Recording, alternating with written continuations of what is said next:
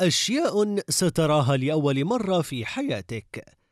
مرحبا بكم جميعا. أظن أنك قد فتحت هذا المقطع لأنك تود رؤية شيء لم تره من قبل فربما تود معرفة الجديد عن الطبيعة والتكنولوجيا في عصرنا الحالي.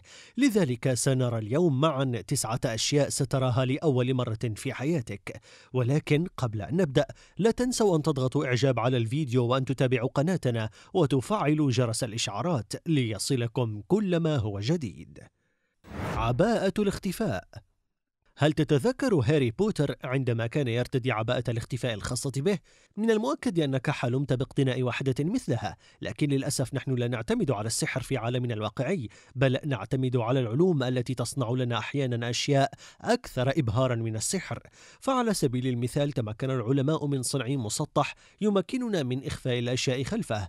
يجب علينا أن نؤكد أن هذه الشركة متخصصة في صنع المظاهر الزائفة.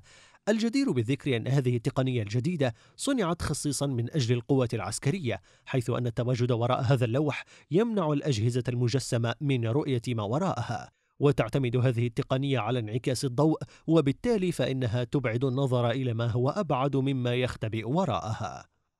السيارات في الإخفاء.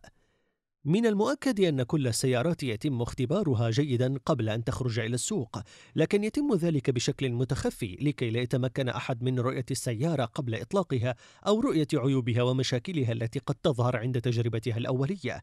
لكن ما لا تعلمه أن السيارات الجديدة تتم تجربتها في الطرق العامة وسط الناس ولكن بشكل متخف، إذ أنهم يعتمدون على إضافة مواد لاصقة مثل الظاهرة أمامكم على الشاشة لكي تخفي نوع السيارة وطرازها.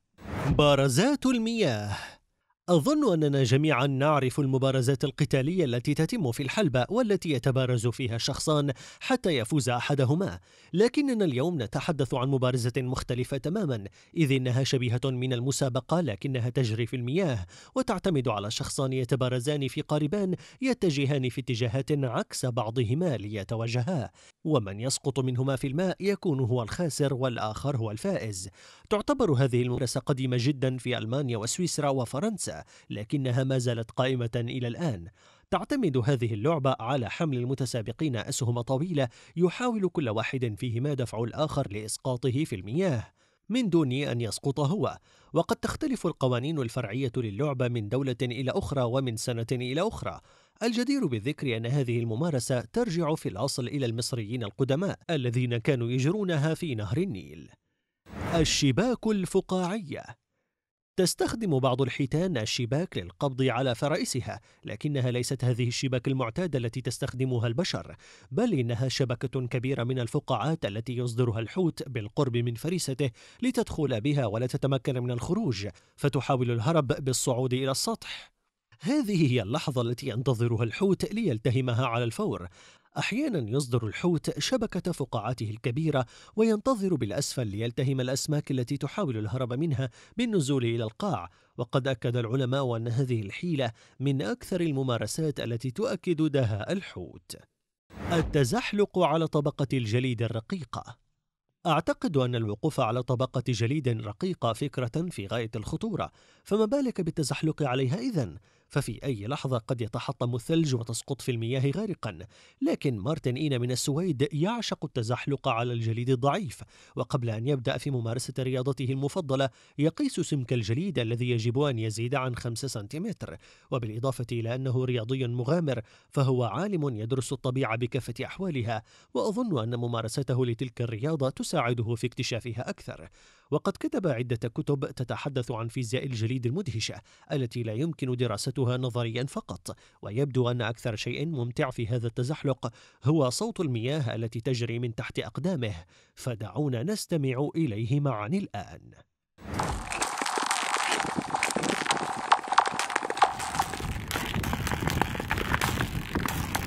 طواحين الهواء القديمة. ماذا يأتي في مخيلتك عندما تستمع إلى كلمة طواحين الهواء القديمة؟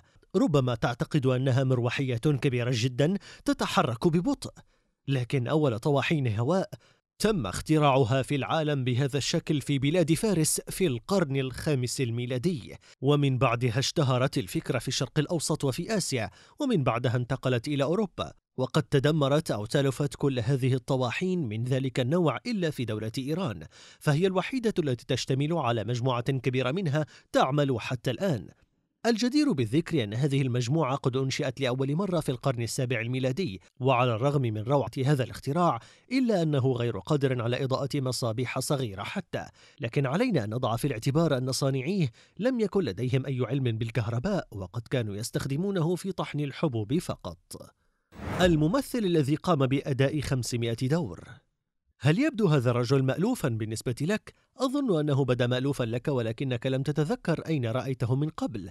حسنا إليكم جيمس هونغ الممثل الأمريكي الصيني الذي يعمل في مجال التمثيل والإنتاج والتعليق الصوتي. السبب الذي يجعله مألوفا بالنسبة لك هو مشاركته في عدد كبير من الأفلام والمسلسلات بما فيهم الفيلم الشهير كونغ فو باندا ومولان وغيرها وغيرها من الأفلام المختلفة والمتنوعة. قد سجل رسميا هذا الممثل أكثر من 500 دور. الغريب في هذا كله أنه ما زال يعمل في السينما على الرغم من أنه في فبراير الماضي احتفل بعيد ميلاده التسعين. وبالإضافة إلى ذلك فقد درس في هونغ كونغ الهندسة وعمل كمهندس مدني لسنوات طويلة. الغابة الصخرية. في كل يوم نعيشه يكتشف العلماء شيئا جديدا على كوكبنا الذي نعيش فيه منذ القدم. من ضمن الأشياء المذهلة التي اكتشفها الإنسان مؤخرا هي الغابة الصخرية الموجودة في الساحل الغربي من جزيرة مدغشقر. وقد أضيف هذا الموقع إلى الأماكن المحمية من منظمة يونسكو عام 1990 وتمتلئ الغابة بأنواع نادرة جدا من الطيور البرية. لكن أكثر ما يدهش هو الأشجار الصخرية التي لن تراها في أي مكان آخر. وقد ساعدت الطبيعة والأمطار الكثيفة على إنبات بعض الأشجار بين الصخور الصلبة مما أعطى الغابة منظرا جماليا لن تجد له مثيلا.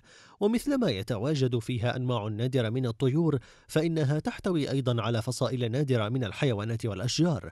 ويقال إنه لا يمكن لأحد أن يستمتع بجمال هذه الغابة إلا من الأعلى لأنها لا تشتمل على أي مسطح مستو يمكنك من اكتشافها في الأسفل.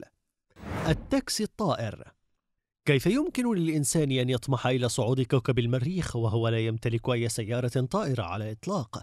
أظن أن العلماء يدور في أذهانهم هذا الأمر بالتأكيد، لذلك فهم يعملون ليلا نهارا من أجل أن يخترعوا أول تاكسي طائر في العالم. بالفعل تمت صناعة أول نموذج تجريبي لهذا التاكسي، وتم اختباره بالفعل، لكن العلماء ما زالوا يعملون على إضافة بعض الكماليات والتطويرات لنظامه الأساسي.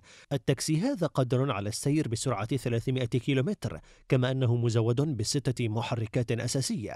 ومن المتوقع أن يكون هذا التاكسي البديل الأمثل لسيارات الأجرة العالقة دائما وسط الزحام المروري. أتمنى أن يكون الفيديو قد أعجبكم. أراكم في الفيديو القادم. إلى اللقاء.